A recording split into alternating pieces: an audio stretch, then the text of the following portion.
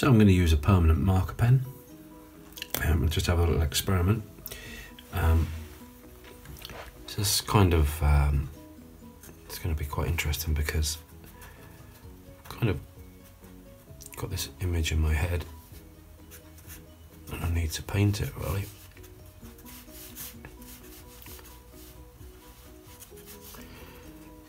And obviously this is a permanent uh, marker pen. So uh, this is not going to go away in any way, shape or form.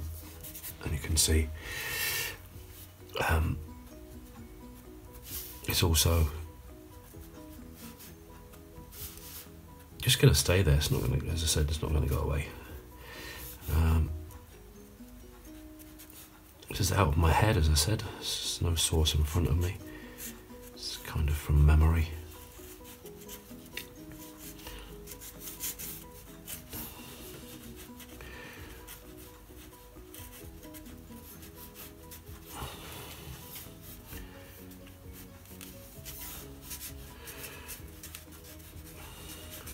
This is really interesting when you try drawings like this. It's just quite freeing if you can see the way I'm holding the pen as well. For the way we'd hold a pen to write, but this is actually on its side. It's the way I paint as well to get a freer sort of style.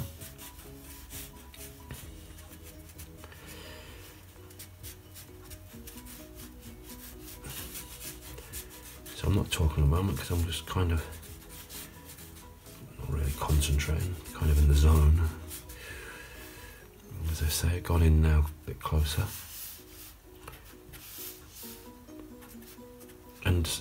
These are kind of suggestions of buildings and temples. The idea I had in my head was uh, uh, Venice, churches, spires.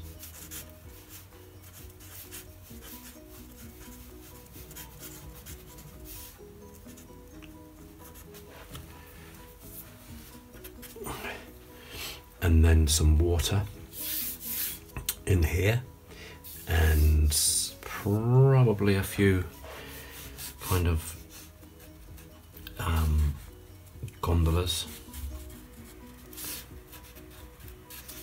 have to be careful and remember the water to work to the line.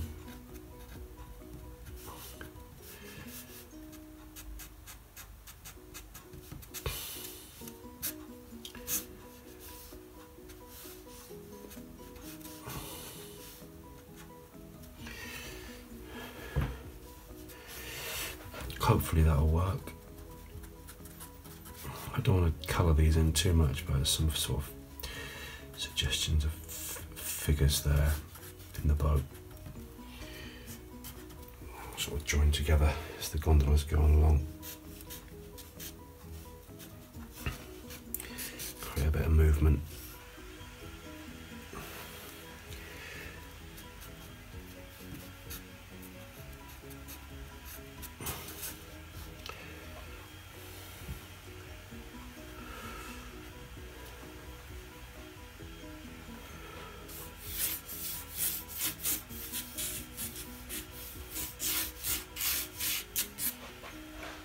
And that will probably be it on the drawing side of this pen. Except I want to create some sort of jetties and just some stronger banking lines to join all of that up that's better. Um, a suggestion of perhaps a few more moored boats perhaps cross over some of the lines.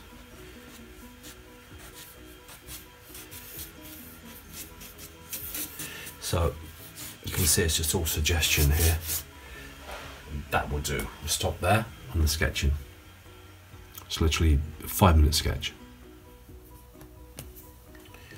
So I'm not happy with this figure. I should have had a source in front of me. This is kind of this is the kind of figure that I should have been really going for.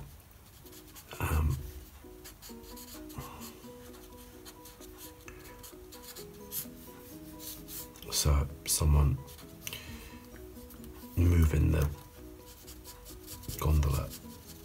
Let's just have a quick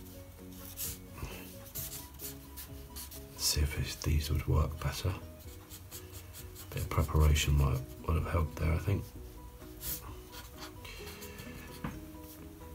Um, kind of idea I had was the head sort of bowed to one side of it. So a bit more energy and strain in there. Um, anyway, there's a few ideas. I don't think I can correct this now because the figure's going to look too big. So there's a bit of an error. Might be able to correct that with some some fluid, um, but we'll carry on anyway. So you can see where I was going with that. Should have had a bit of preparation in there first. Would have worked really well.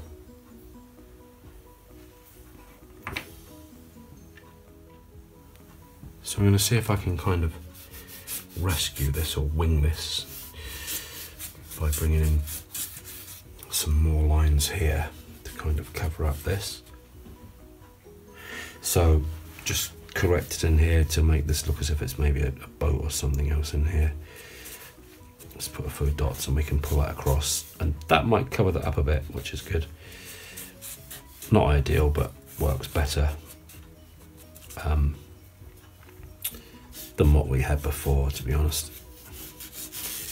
I'll do a bit, maybe drawing too much.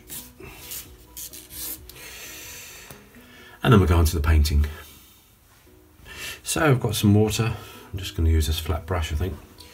Um, and paint. Just move that to there. Let's see if we can see some of the some of the paints. I need to shift this over a little bit. Let's just uh, do that.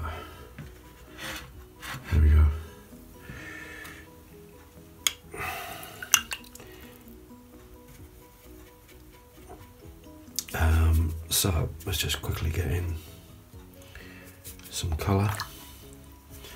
Work fast, it's just a bit of raw sienna. Just pop that in coming all the way down to the horizon. Just weak water in there as well.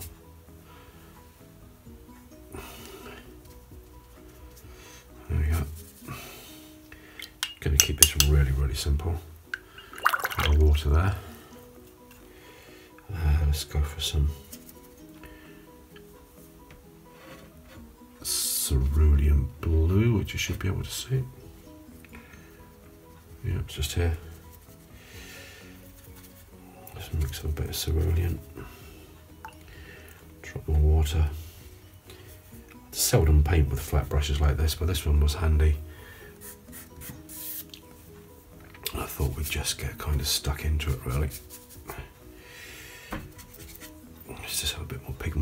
Just drop that in so I can do its thing. There you go. Not going to mess about. Just going to join some of these shapes up, which is a thing to remember. Just, um, just think shapes all the way along the line, really. Think of this all as shapes. I think I'm going to use the same um, colour, this cerulean. Bit in there, that's fine, that's done. Uh, the same cerulean to echo what's in the water and the same with the raw sienna. So I'm gonna can see the, the broken white in here, look, just uh, because I'm going quite fast. So by swiftly going across, you get broken uh, sparkle underneath. But you can only achieve that, whoops, if you go quite quickly. You need to load the brush up and, and whip it across. And I want these little white specks to be there.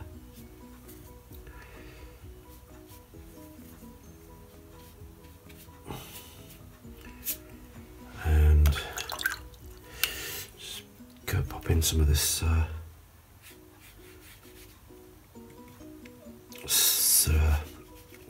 uh. Just make sure it just merges slightly in places with um,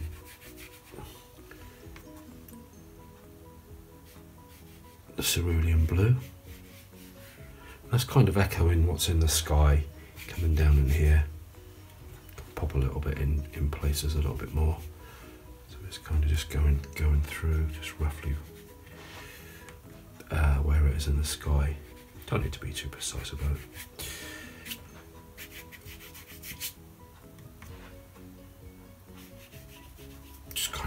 Join up some of these uh, shapes, and that's probably just about it for that phase. So that's kind of like that done.